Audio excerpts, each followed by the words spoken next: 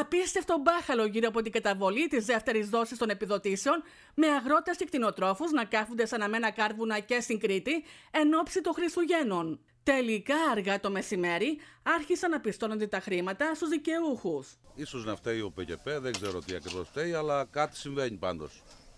Και φαίνονται αναξιόπιστοι αρκετοί. Είναι αδύνατο να περιμένεις μέχρι τέλος του χρόνου να βγάζεις τις υποχρεώσεις. Σε όλα όμως. Σε πετρέλαιο, σε, δα, σε δάνεια, σε ενίκεια από θερμοκήπια, χωράφια, οτιδήποτε.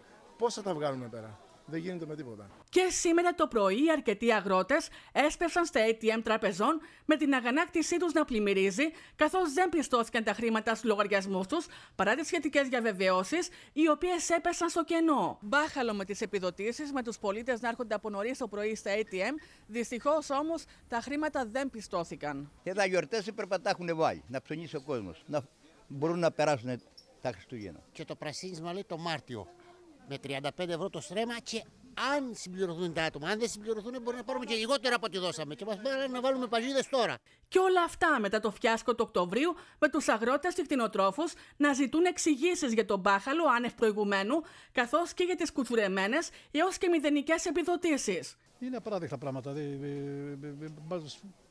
Μας δουλεύουν, να μην το πω αλλιώς.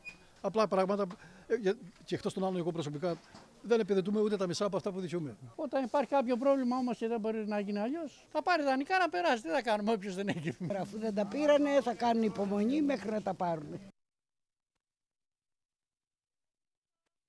Το ναυάγιο σε επιδοτήσεις λίγες ημέρες πριν τις γιορτές σχολιάζει και ο εμπορικός κόσμος, ο οποίος πόνταρε στα χρήματα των επιδοτήσεων, προκειμένου οι καταστηματάρχες να ζεστάνουν τα ταμεία τους. Αυτό φαίνεται από την αγορά.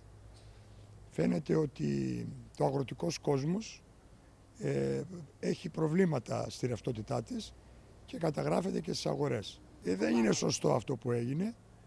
Ε, επί εβδομάδες τώρα ακούγαμε τις ε, πληροφορίες και την αγωνία των αγροτών για το θέμα των επιδοτήσεων.